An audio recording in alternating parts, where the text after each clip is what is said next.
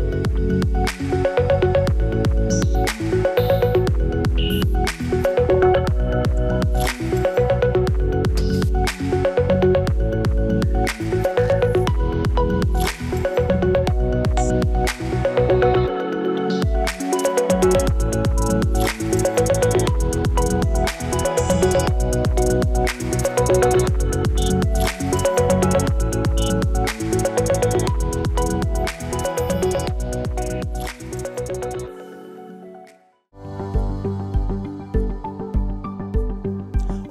Amigos de Rema TV? Sean bienvenidos una vez más a otro programa de salud y vida. Hoy estaremos tocando, como todos los lunes, un tema muy interesante, además con una mujer que es maravillosa, una mujer que tengo el privilegio de poder entrevistar por primera vez el día de hoy. Ella se llama María René Pérez Jonker, en, el cual estaremos tocando un tema completamente que estoy seguro a muchas personas en casita le va a llamar la atención y de mucho interés también para muchos.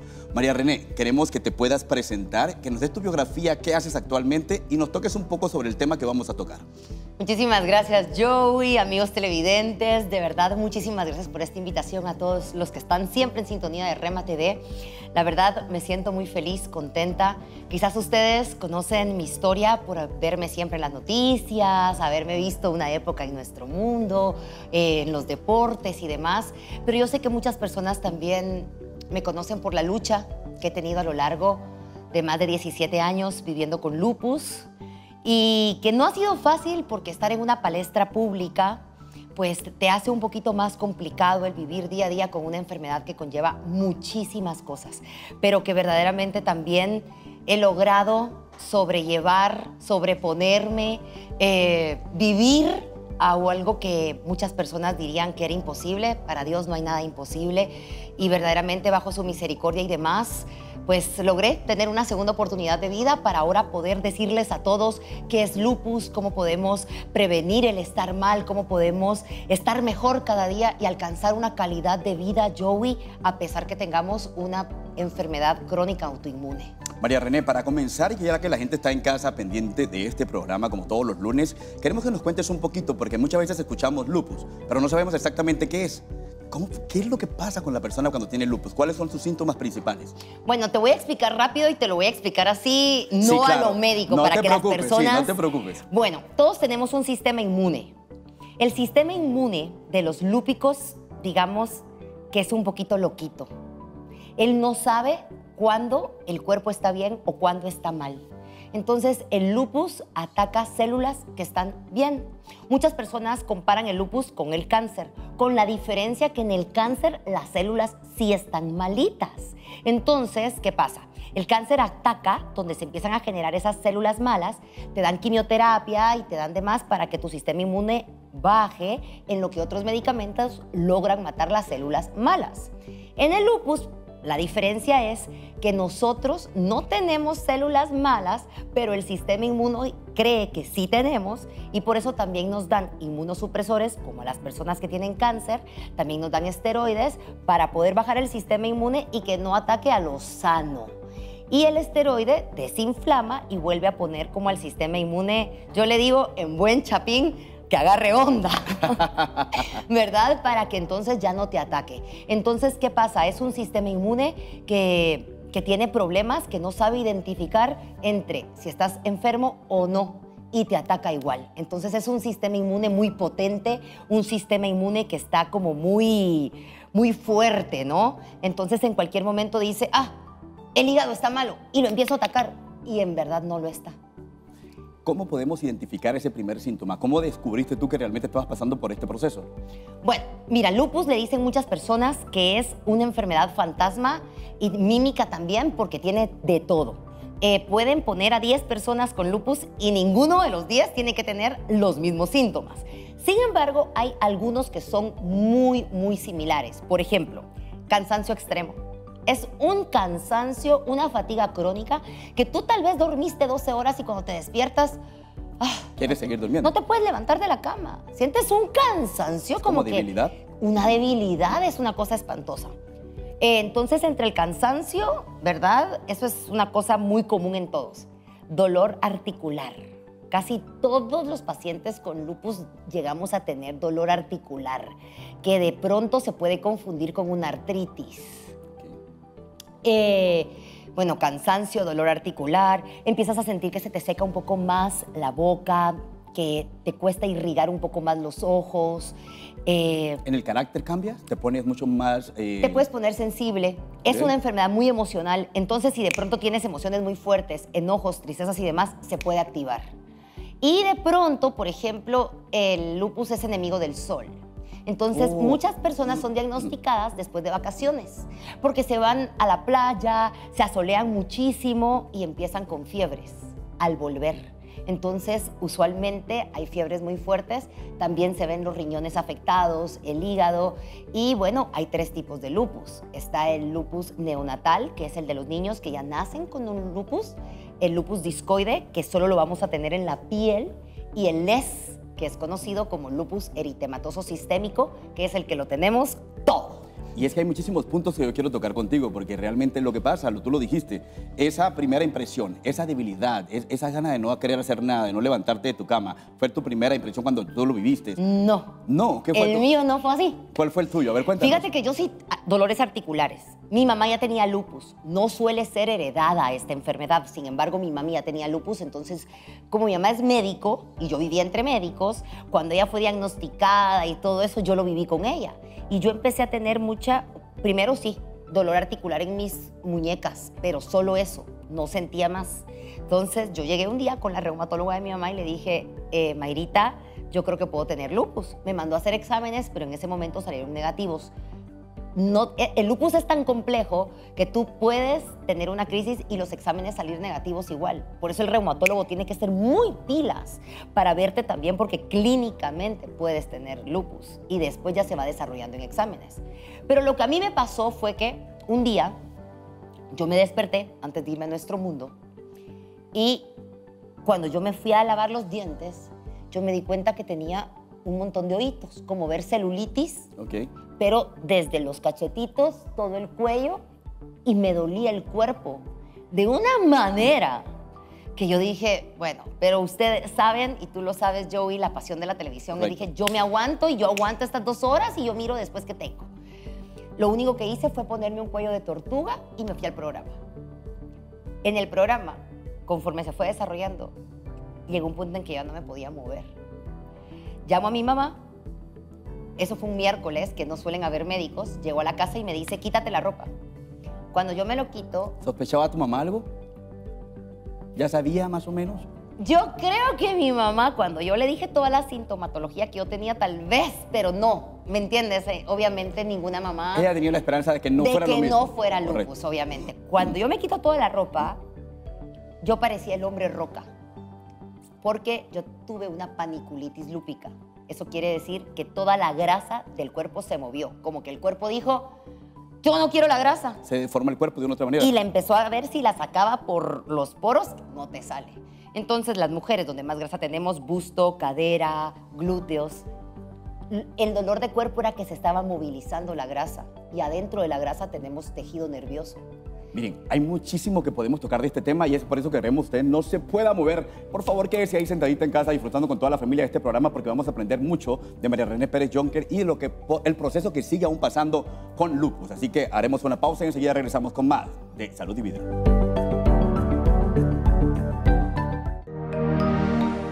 A continuación, tu cemento TICS de salud.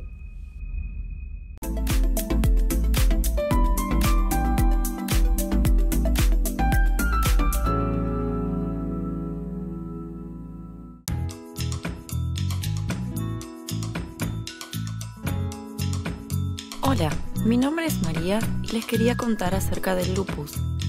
El lupus afecta a más de 5 millones de personas en el mundo, pero muy pocas saben lo que es. En las personas sanas, los glóbulos blancos en la sangre protegen nuestro cuerpo contra las infecciones y evitan que nos enfermemos. En las personas con lupus, los glóbulos blancos se confunden y comienzan a atacar al propio cuerpo. Por eso el lupus puede afectar prácticamente todos los órganos del cuerpo, como el corazón, los riñones, el cerebro, la piel, las articulaciones o muchos otros. Los síntomas del lupus pueden ser debilidad muscular, caída del cabello, fatiga, sarpullido, dolor en las articulaciones y depresión, entre otros. Pero no todas las personas con lupus tienen los mismos síntomas o problemas. Los síntomas que más me molestan a mí son el cansancio y la falta de energía. Esto afecta muchísimo mi día a día. No es como el cansancio común.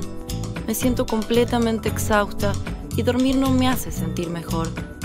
Me cuesta hacer cosas y es difícil explicar por qué me siento así.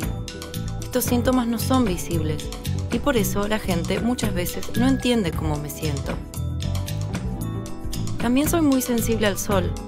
Esto significa que tengo que cuidarme cada vez que salgo y que no puedo estar afuera tanto como quisiera. A veces esto me hace sentir triste. Debo cuidarme del estrés, ya que puede empeorar los síntomas.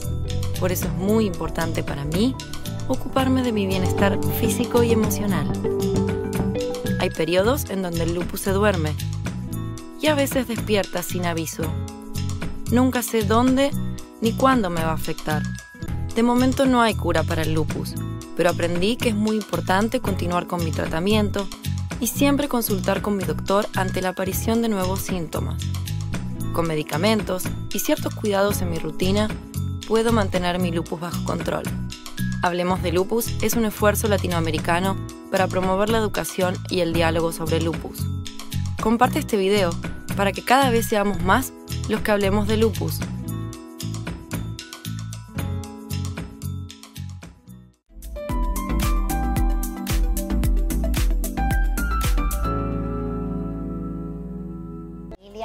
Sufre con el paciente si tiene cáncer, si tiene lupus, si tiene artritis, porque no, nadie se puede quedar exento a las- al, al sufrimiento de un familiar.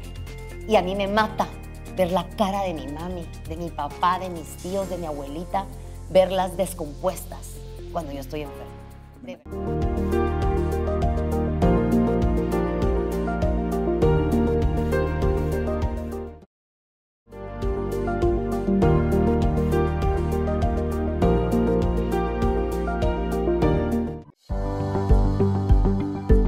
Estamos de regreso aquí en Salud y Vida en Rema TV. Muchísimas gracias por continuar en sintonía con nosotros. Y yo estoy aquí acompañado de María René Pérez Jonker, que nos está contando un poco del proceso que sigue viviendo con esta enfermedad llamada lupus. María René, tocamos el tema de cómo fueron los primeros síntomas, de cómo fue tu proceso, cómo descubriste. Bueno, hasta ese punto no hemos llegado exactamente, que ya lo tenías por sentado. Contaste también que tu mamá pasó este proceso. Y ahora, ¿qué viene después de esto, María René?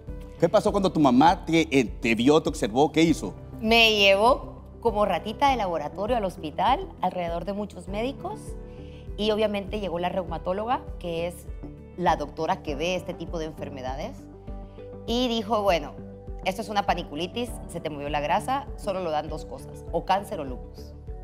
Wow. Como mi mamá era lúpica, lo obvio era que era lupus. Me hicieron la batería de exámenes y todo. Como yo estaba en ese momento muy activa, sí salió, en ese momento ya salió todo positivo y me atacaron fuerte.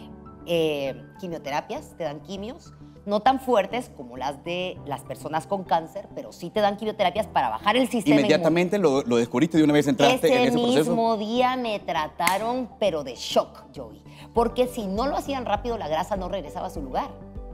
Wow. De hecho, todavía hay lugares donde la grasa no regresó. X, o sea, no se ve, pero sí, ex- sí existen, ¿verdad? Y si no se hubieran puesto pilas, la grasa no regresa donde Oye, es. René, días antes de que tú te vieras en el espejo a levantarte para ir a trabajar a tu programa de televisión, ¿no sentías absolutamente Sí. nada? Habían síntomas que te daban así como señales y tú no le hiciste caso. Sí, te voy a contar. Cuéntanos, cuéntanos. Porque tú lo vives cuando uno entra a la televisión, se arregla y todo. A mí se me cayeron todas las pestañas. Ah, wow. una semana antes. Pero ¿qué dije yo? Hay una alergia. Como ahí usamos todos el maquillaje, tú ya sabes, de plano algo se me pegó. Se me estaba cayendo el pelo. Entonces yo dije, ay, de plano mucho estrés. Me salieron aftas en la, en la boca, úlceras. El estrés. Ya sabes, tú todo, yo, yo le ponía todo el estrés, la carrera, esto, el otro, y, y- y lo iba dejando todo atrás. Hasta que reventó en la paniculitis. Wow. O sea, yo pude quizás si yo hubiera empezado a ver eso y hubiera regresado con la reumatóloga y le hubiera dicho, mira el fuego acá, mira el pelo, mira ¿No le las comentaste a pestañas". nadie lo que estabas pasando? No. Nunca, ni a tu mamá. No. Wow. La verdad es de que ya sabes, es el día a día y, y Sí. yo, yo estoy acostumbrada a trabajar tanto que yo le ponía excusas a todo. Mire, y es importante, me René, que haga una pausa acá para que la gente que está en casita, por favor, no se automedique, no suponga, busque realmente la ayuda de un especialista. Por eso llevamos nosotros este programa de salud y vida. En este caso no tenemos un especialista que acompañe a María René porque ella ha hecho realmente el proceso, lo ha vivido como su propio especialista, su propio médico, lo vivió con su mamá y ahora lo estoy viviendo actualmente. Y es por eso que tienes el conocimiento, incluso da charlas del conocimiento que tiene del lupus. ¿Cuál es el primero? Aquí vamos con esta pregunta que me gusta muchísimo. ¿Cuál sería la causa principal del lupus? Hasta este momento no se tiene claro cuál es la causa principal. que no se ha determinado. No se sabe, no se ha determinado. Los científicos han trabajado muy fuerte, pero sí hay cosas muy especiales. Si hablamos que por cada 10 mujeres con lupus hay un hombre, eso ya determina que hormonalmente hay un indicio. Las hormonas tienen mucho que ver.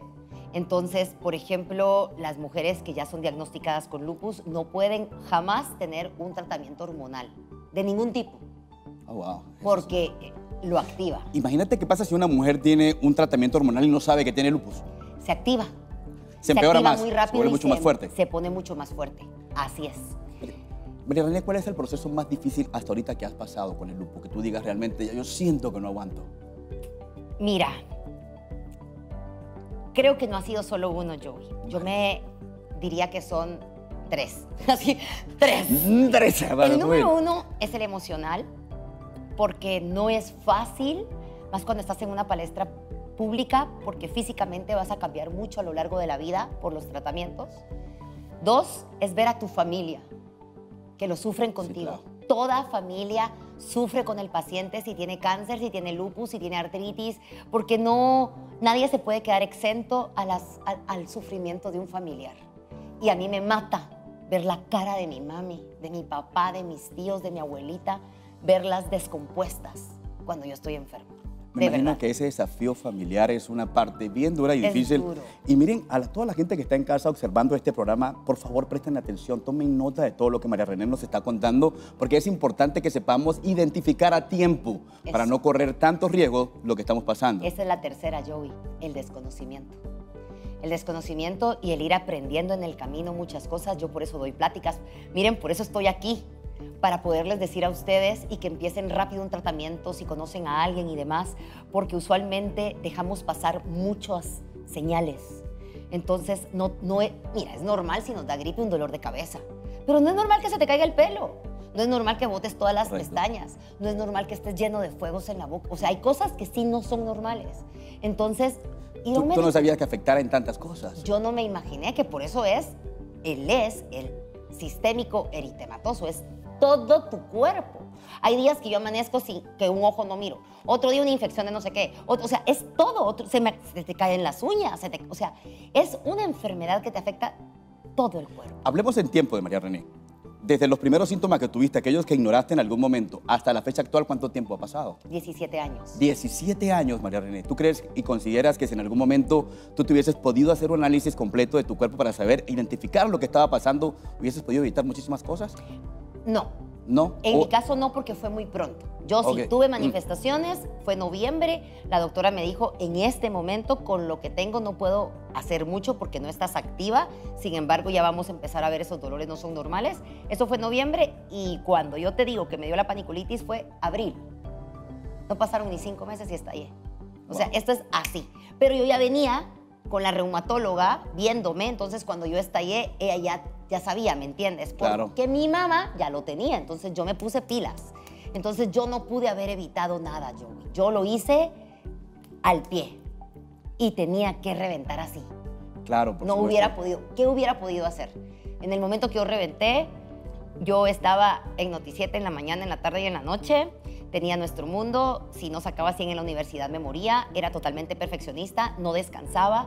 Entonces lo que yo hice fue adelantarlo, por supuesto. Algo que no has tocado el tema es que tienes una actitud increíble.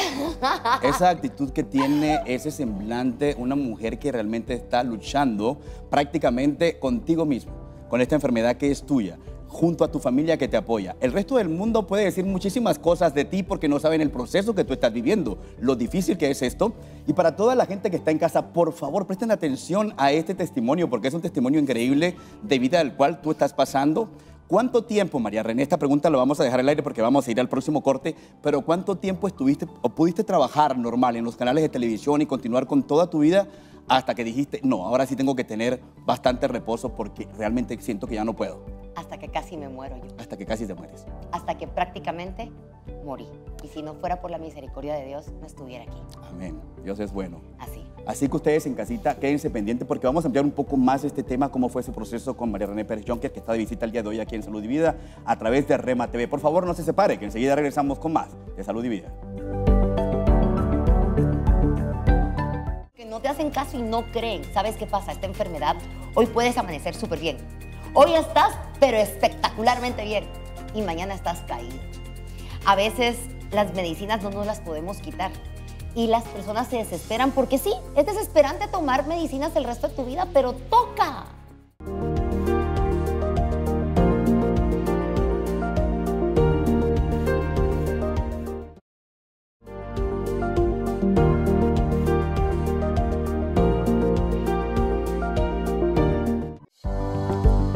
Estamos de regreso en Salud y Vida a través de Rema TV. Muchísimas gracias, como siempre, por estar en sintonía con nosotros acá el día de hoy, sobre todo con este personaje increíble que tenemos como invitada. María René, quedamos en un tema realmente un poco delicado. Yo sé que probablemente te toque y que tienes que respirar y agarrar fuerzas para poder hablar de este tema. Cuéntanos un poquito, ¿cómo fue eso llegar a punto de morir?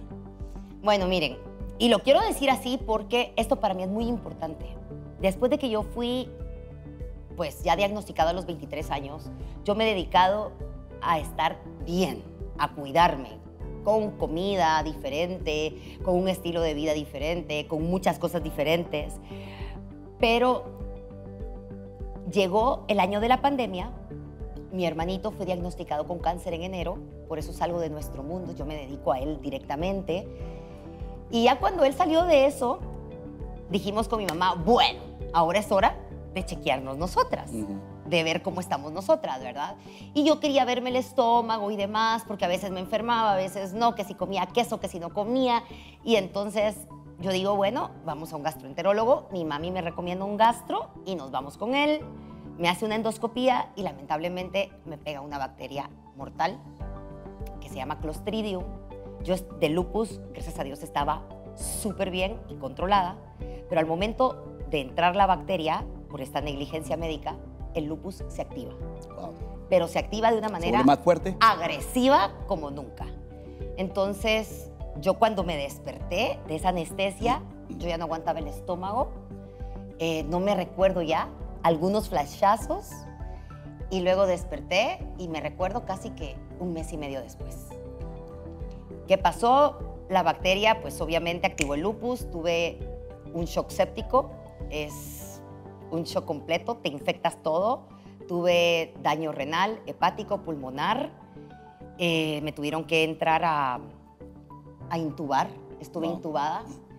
Y la verdad es de que estuve a punto de que me hicieran una traqueostomía. Mi mamá dijo, bueno, probemos desconectarla ya, porque los doctores le dijeron, Astrid, en este momento ya no se puede estar el tubo porque se puede infectar más, hay que hacer una traqueo mi mamá con llanto porque ella sabía que este es mi trabajo, pues esta es mi herramienta, Dios me regaló esta voz para vivir, entonces fue muy difícil, gracias a Dios al extubarme mis pulmones reaccionaron, entonces empezó el proceso. ¿Tú consideras, María René, que la actitud con que la persona está viviendo el lupus también ayuda bastante a que te sientas mejor? Totalmente. Que la gente se deprime y no quiere saber y eso lo que hace es llevarlo a la, a la fase terminal. Y lo entiendo, Joey, porque ¿qué pasa si tú tienes dolor, si estás cansado, si estás así? ¿Qué pasa con muchas mujeres? Que los esposos no les entienden el cansancio que desarrollan. Entonces, yo me he encontrado a muchas mujeres que me dicen, es que mi esposo todos los días, ya estás otra vez acostada, ¿por qué estás cansada? Entonces tiene que ser un trabajo multidisciplinario. Empatía. Una empatía de la familia, de entender que ese cansancio no lo vas a entender tú, pero ella lo está viviendo. Correcto. Entonces, realmente muchas mujeres sufren muchos problemas porque no hay conocimiento. Por eso iba yo que el, tercer punto es la falta de conocimiento del lupus de todos. Me comentaste también detrás de cámara que esto te afectó muchísimo, no solamente por lo que sentías, sino también el ataque, que hubo muchísimo ataque de parte de la gente afuera que no entendía el proceso que tú estabas pasando. Pero ahora, María René, en el principio tocamos el tema de hombres. ¿Por qué en los hombres no es tan realmente normal que un hombre eh, sufra de lupus como en las mujeres? Pues nosotros creemos que es la parte hormonal. Los hombres no tienen tantos cambios hormonales a lo largo de su vida como las mujeres. Creo que los hombres son más tranquilos y no son tan complicados emocionalmente como somos nosotras. Sí. Creo que sí, ¿no? Sí, el hombre es más relajado. Entonces creo que hay muchos factores que hacen que los hombres no tengan, pero hay hombres que sí lo tienen y sufren exactamente igual que las mujeres. Pero como te dije, son por cada 10 mujeres con lupus, apenas hay un hombre. María René, ¿puede pasar en niños? Sí, hay lupus neonatal, eh, hay niños que ya nacen Wow. Con lupus eh, y hay otros que desarrollan lupus a veces por cosas netamente, ¿cómo te explico? Farmacológicas. Por casualidad, ¿tienes un dato de un porcentaje de gente que muere de lupus? Fíjate que no tengo un dato, pero sí te puedo decir que cada vez vivimos más. Anteriormente el problema es que las personas no eran ni siquiera diagnosticadas, no tenían ni siquiera el medicamento. Correcto. Entonces, obviamente, oían, es que murió de fiebre, es que de plano le dolía el riñón, es que, mire, una reumatoide tenía por ahí. Así dice la gente, ¿verdad? Y que si era un lupus. ¿Has conocido personas que han tenido lupus y que las has visto morir? La- hablaste con ellos en un momento y de repente Sí, ya no estaban. Muchas. Porque no, no hacen caso. Bien, porque no te hacen caso y no creen. ¿Sabes qué pasa? Esta enfermedad, hoy puedes amanecer súper bien. Hoy estás, pero espectacularmente bien. Y mañana estás caído. A veces las medicinas no nos las podemos quitar. Y las personas se desesperan porque sí, es desesperante tomar medicinas el resto de tu vida, pero toca. No, Sí. no, no lo puedes cuestionar. Entonces la gente se las quita, te sientes muy bien, dos, tres semanas, cuatro, y dicen, ay, yo no las necesitaba porque me siento muy bien, pero es el residual del medicamento. Y de pronto, después de esas tres, cuatro semanas, caes en una crisis y a la doctora le cuesta muchísimo más volverte a levantar. Tengo que confesar a todas las personas que están en casa que cuando yo estuve pensando mucho en esta entrevista con María René, cuando me dijeron que iba a tener la oportunidad de entrevistarte, María René, y lo has manejado hasta ahora de una manera que me has dado una lección, porque creo que toda la determinación que puedes tener tú como persona, ese valor que te colocas a ti mismo, es de mucho interés, de mucha importancia para que nosotros podamos sentirnos mejor, porque nadie más nos va a motivar excepto nuestra familia, es lo único que lo hacen, pero a través de todo el proceso que pasamos alrededor de nosotros, por las consecuencias y todo lo que sufren, en este caso lo que has pasado hasta ahora, esa actitud que tú tienes, ese semblante, esa luz tan maravillosa, el cómo transmites el mensaje, creo que a la gente en casa lo está recibiendo bien. María René, consejos para las mujeres y los hombres que nos están viendo en este momento en casita y que usted, tú digas, bueno, presten atención con mucho cuidado a esto. ¿Cuáles serían los consejos principales? Mira, mi primer consejo, vivan hoy, vivan hoy, vivan hoy con o sin enfermedades. Ahora bien, si ya son diagnosticados, no se ahoguen en un vaso de agua. De verdad, yo soy un fiel ejemplo de que podemos vivir bien, pero debemos cuidarnos más. Debemos pensar en nosotros, ponernos en primer lugar, no ser tan emocionales, ser más tranquilos con muchas cosas y verdaderamente ir con profesionales. Si a mí algo me enseñó la negligencia médica y el tener lupus es buscar a los mejores. Nosotros valemos oro, no tenemos precio, nuestra vida no tiene precio. Dios nos hace a cada uno con un valor invaluable. Entonces, no importa qué tengamos que hacer, yo aprendí a ir con el mejor o con los mejores para poder estar bien y no escatimo en nada para mí. Mi medicina, mi comida y mi calidad de vida va primero porque, porque yo se lo debo a Dios. Yo no debería ni estar viva y si estoy viva aquí es por la misericordia de Dios y cada minuto va a ser para hacerlo bien porque se lo merecen y para que yo pueda estar bien, para contarles a ustedes que van a estar bien. De verdad que es interesante y realmente a mí me toca bastante el poder escucharte de esa manera. Y yo no voy a ser aquí el sensible porque tú estás con esa fuerza y todo lo demás. Pero para toda la gente que está en casa le tenemos buenas noticias y es que si usted está interesado en este tema vamos a tener una segunda parte. Así que tienen que estar pendiente también para que María René nos pueda explicar un poco más porque es un tema muy amplio que podemos tocar y que probablemente hay muchísimas cosas que ahorita dice Joy, no te lo puedo contar, pero más adelante lo vamos a tener en el próximo programa. Así que usted en casita, María René, ¿cómo te pueden encontrar en redes sociales? Para que la gente, me imagino que hay muchas personas que te escriben pidiéndote consejos, mira, estoy pasando este proceso. ¿Cómo es ese proceso? Mire, me pueden escribir en María René PY, en mi, bueno, en ex y también en el Instagram, en Facebook, María René Pérez Jonker completo. Y te cuento que en la página que ya viene próximamente vamos a hacer un podcast únicamente de lupus y de enfermedades crónicas, porque sí, me preguntan muy seguido, ¿Cuáles fueron tus primeros síntomas? ¿Qué hiciste primero? ¿Quién es tu doctora? ¿Cómo, ¿Cómo lo vives? ¿Cómo va el ejercicio? ¿Cómo vives tus vacaciones? Entonces, me encantaría compartirles a todos, después de 17 años, cómo es vivir con lupus para que ustedes también alcancen una excelente calidad de vida y no se me vengan abajo jamás. Sean los guerreros que podemos ser. Muchísimas gracias, María René, por estar con nosotros el día de hoy en esta primera parte de este programa y a todos ustedes en casita por acompañarnos una vez más. Yo me despido, pero será hasta la próxima porque muy pronto tendremos la segunda parte del Lupus con María René Pérez Jonker. Muchísimas gracias.